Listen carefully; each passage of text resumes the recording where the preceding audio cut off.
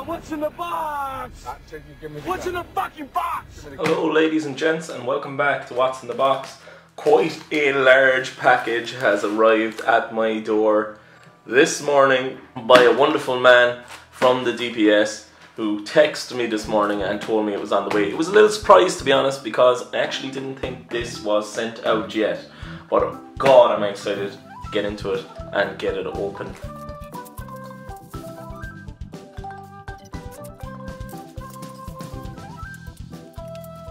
These are kind of cool, weird corner protectors for this item. So ladies and gents, here it is.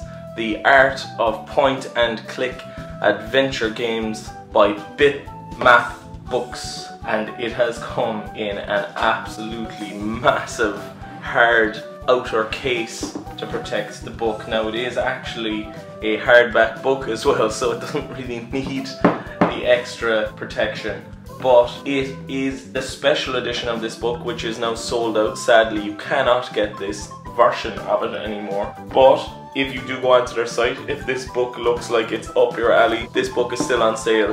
Definitely get your hands on it because it's absolutely class. So basically what this is, exactly what it says on the tin, it's loads of different art, like background art, character art, sprite art from point and click games. Of course it includes LucasArts and of course it includes Sierra Online. What's interesting about it is it has some new interviews with some developers of those games such as Ron Gilbert and the likes and I think Al Lowe might actually be in here as well from the Leisure Suit Larry games, but wow, that is some huge collector's item. The collector's edition is actually made to be to look like a big box PC game. So I'm gonna get a big box PC game and we can compare the size of these two before I start getting into the opening of it. As you can see, the point and click box is quite a lot larger than the actual point and click game big box. But nevertheless it's got its sticker down here as well. What does it say?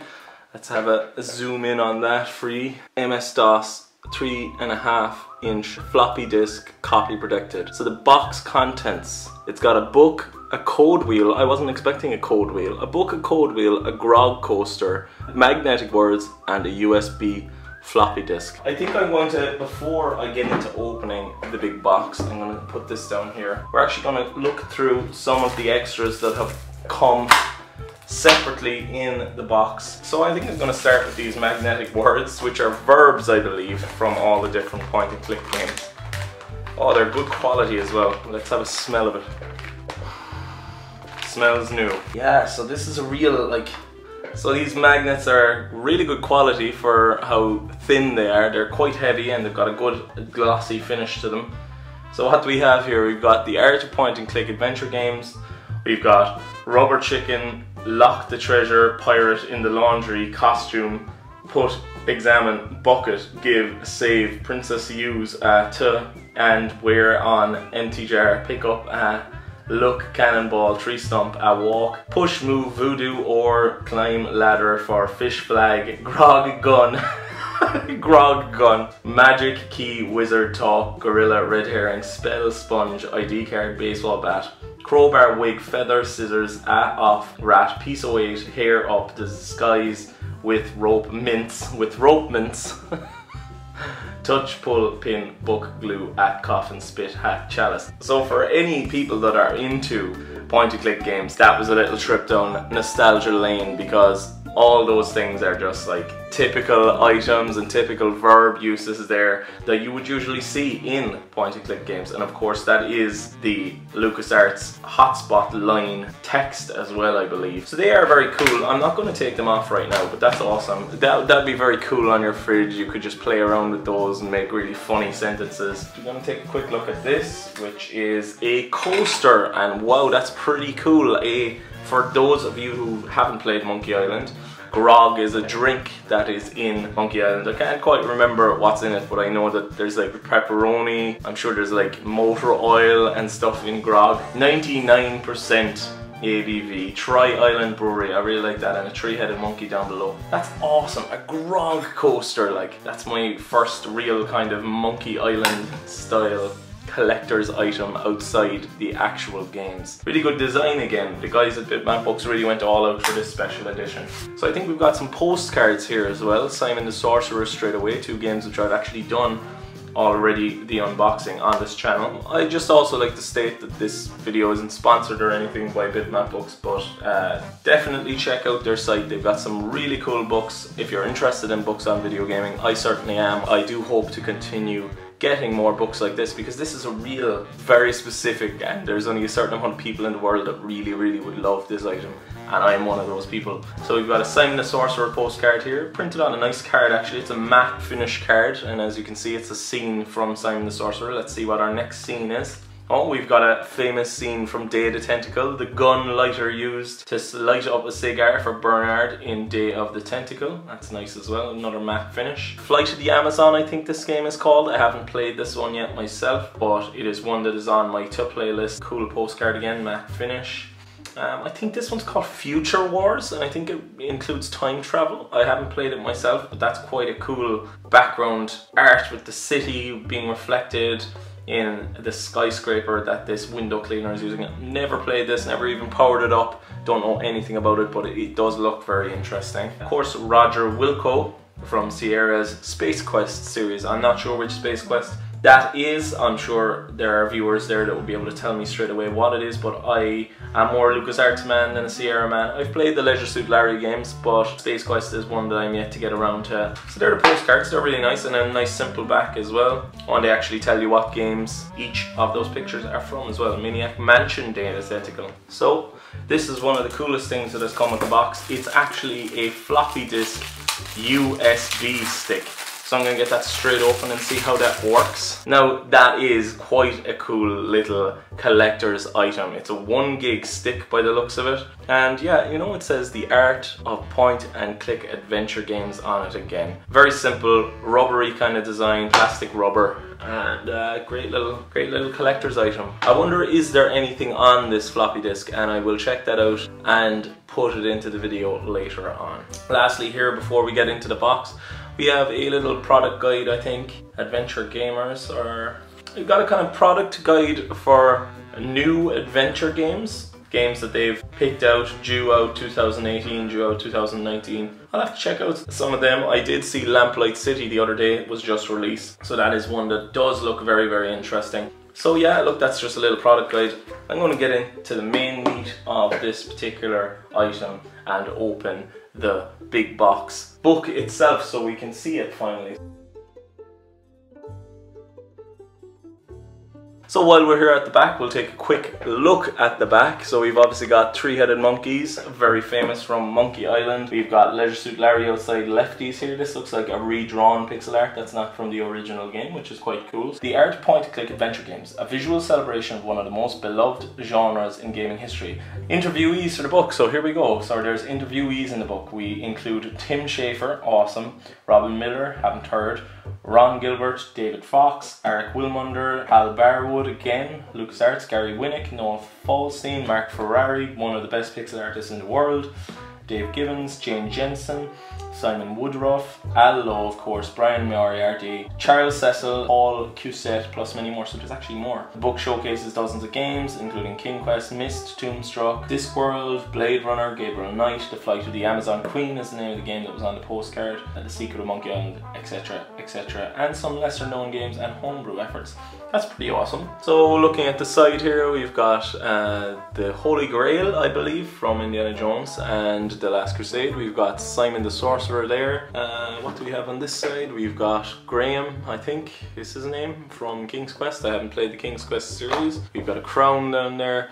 And of course we've got this just lovely cover. So it's time to get it off, I think. And it literally lifts off like a big box PC game would. Awesome, straight away, oh my god. Look at this, this is amazing. Okay, I'm sorry, I'm gonna have to put the book aside again. I'm gonna leave it over there so you can look at it in a minute. This is Dial and Interview, right? Let's see how this works. We've got Manny Calavera there on this side. On the inside, this is really, really well designed. You've got Guybrush from Monkey Island 2 there, picking up the bone of Largo LaGrande's father as his pants is falling down. Dial an interview. So it's made in the same way that the Monkey Island dial a pirate code wheel is, except it's you're dialing in an interview. I suppose this is to find the page of the interview. This is just a fun little addition that they added into the box. Let's have a quick look at this now. And I think they're all the faces of the different developers then. So let's try find Ron Gilbert's face there. Where's Ron's? Because that's definitely Ron's eyes anyway. Who is who?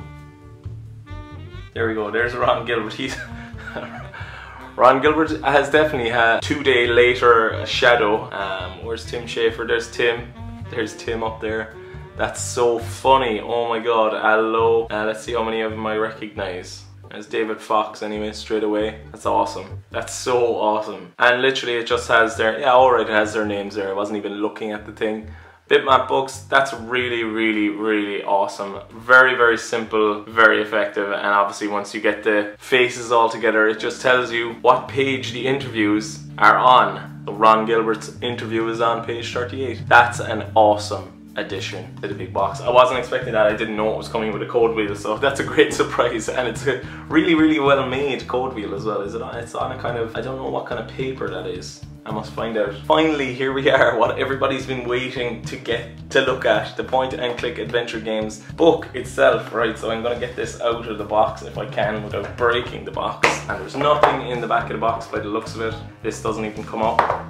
God, that smells good. I'm gonna get this plastic off first so I can just talk about it straight away. I don't want to be waiting around. This is an extremely high quality item just to hold it and to feel it. It's, it's got such a nice weight to it and these are shiny lettering. They're actually, you know, they're actually properly printed onto this cover. It's just got a good weight to it. Everything in it is actually of a really high quality. I wasn't expecting it to be this high of a quality, but yeah, man, it's got a real nice weight to it. It looks great, and of course that logo is just awesome. Look at it, the point and click adventure game. Bitmap books. Definitely do check out their site. It's well worth uh, just looking through what other books they have. They uh, they are quite cool and I'm not sponsored by them. I just really really like this item. It's very cool. So that just says the same as what it says on the back. You've got a point click cursor here from the LucasArts games. Right, so I'm just gonna flick through it. I'm not gonna go through, of course, the whole book because there is quite a lot of pages, but I'm gonna just have a quick look through the first few pages here.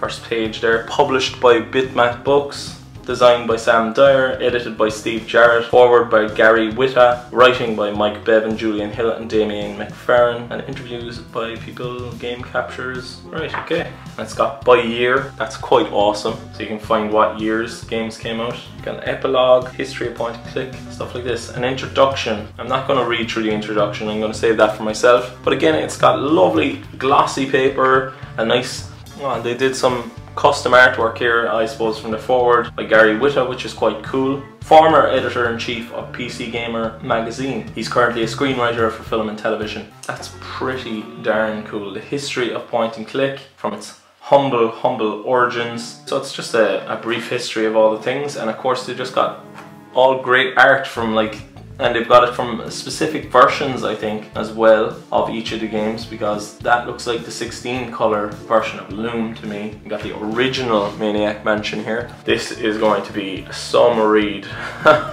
There's a glossary, so it just tells you all the different text parser, what all the what all the different things mean, and it's in the LucasArts text again. LucasArts really did do some of the best of the LucasArts games. Whoa, this is so cool. Oh my god, look at all of that stuff. That's amazing. Like this art is so, the art in point and click games is so nice to look at. There's a Harrison Ford look-alike turning from Harrison Ford into a skeleton if you drink from the wrong cup at the end of the last Crusade adventure game.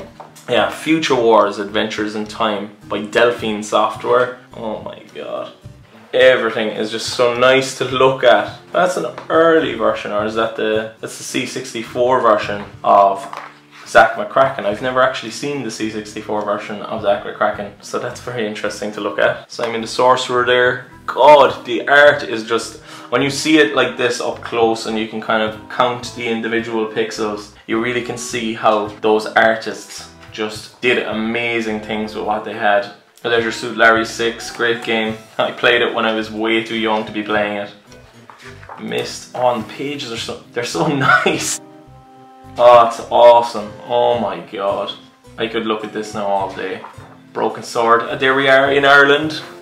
Broken sword, climbing the castle wall in Lochmarne. God, with the goat. The infamous goat. Charles Cecil, yeah. So it's got interviews then with all the different developers. I've just got to get to Monkey Island page. I need to see some of that art. Oh, here is here is the first point and click game I've ever played. Monkey Island 2. Oh my god, it's so gorgeous. The particular art in Monkey Island 2 was actually hand drawn and scanned in, which is amazing. Yeah, hand painted backgrounds. That's awesome as well. They're just so nice to look at. I wish I could draw like that. And just the colours and everything. Oh god, I could actually look at this book all day. Here's Larry in a very precarious situation, as he always is. More of Larry, is it? Yeah. It's a remake of Leisure Suit Larry, the VGA remake, I think. I could look at this book all day. This is amazing. I can't wait to sink my teeth into that proper. Tim Schafer, Broken Sword 5. So yeah, it goes right up until the modern day with the pointy clicks as well. It goes to Voodoo Island. They're really going uh, very specific. Like that game was pretty much, sadly, a failure, even though it's quite similar to the Monkey Island games.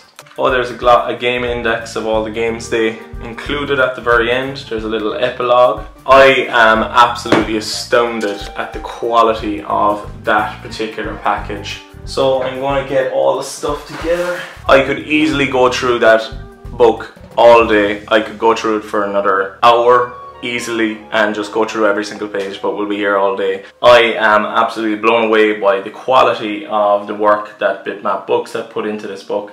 I'm really really happy with it. That grog coaster is so cool. now I just need a grog mug. Absolutely check out their site if you're interested. It's a great little book. Sadly, none of this extra stuff is available anymore, but the book itself is available and it's of a really, really high quality. Definitely worth checking out. If you enjoyed this video, please do like, comment and subscribe. This is my unboxing of the Art of Point and Click Adventure Games. My name's Jack. It's been a pleasure showing you through this little box.